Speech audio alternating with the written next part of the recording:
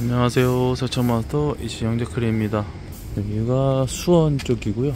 오늘은 라카 제거하러 왔습니다. 그 애들이 이거 그렸나봐요. 그래서 이거 지우러 왔거든요. 음. 그래서 지우면 될 것 같아요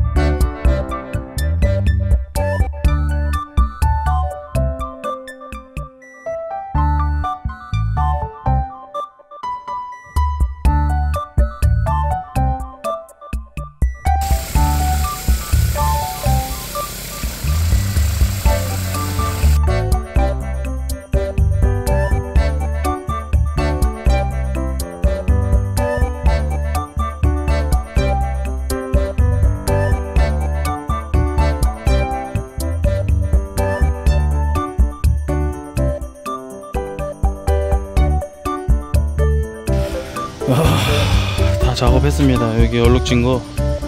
여기도 라카 했고 저쪽에도 라카 해놨고 음. 그래서 말끔히 세척을 했습니다. 저기도 세척이고요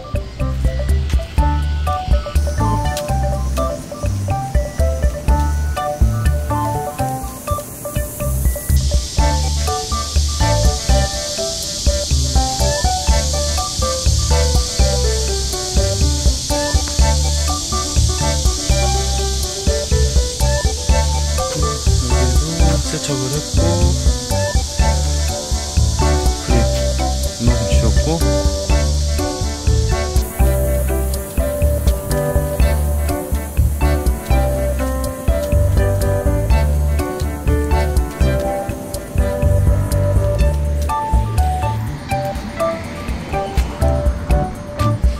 여기도 했던 거 지웠고